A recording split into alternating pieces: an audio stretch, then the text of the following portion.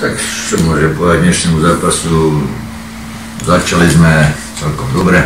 Prvých 30 minút to bolo z našej strany dobre, ale postupne domáci nás začali prehrávať e, zvýšenou agresivitou a nedokázali sme sa s tým vyrovnať. E, Nakoniec vlastne po našej ľahkej strate lobny na superovej 16 sa dostali do breaku a strelili nám do šatní gol druhom počase samozrejme zo stavu 1-0 sme chceli, že sa pobijeme ešte o výsledok, ale nedokázali sme v útočnej fáze sa vyrovnať s tou agresivitou domácich. E, málo čo sme si vytvorili a domáci po našej chybe, znovu hrubej chybe, vlastne dostali sa k druhému gólu. Tretí gól už ani nehodnotím tam.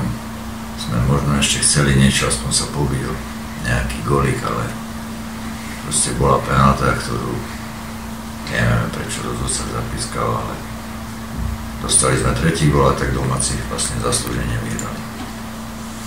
No, ďakujem. Teraz pokusím, aby nám povedal svoj pohľad na zápas aj tréner Anton Mišelec.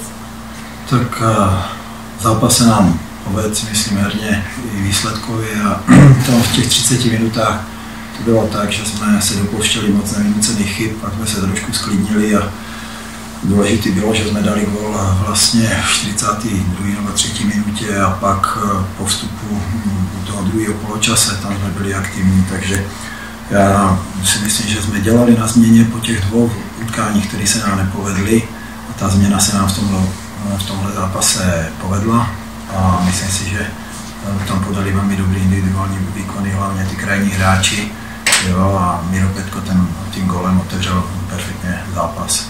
Jo, jsem rád za to, že dali Hoše gol a ten gol z penalty, myslím, že to připadlo, že byla ruka ve vzduchu jako by nastřelená, takže to jako taky nehodnotím, ale prostě rozhodnutí rozhodčího je, tak uh, myslím si, že jsme zaslouženě vyhráli a hráči si dokázali, že uh, můžou soupeře eliminovat jeho silné stránky a dostat se ke své hře.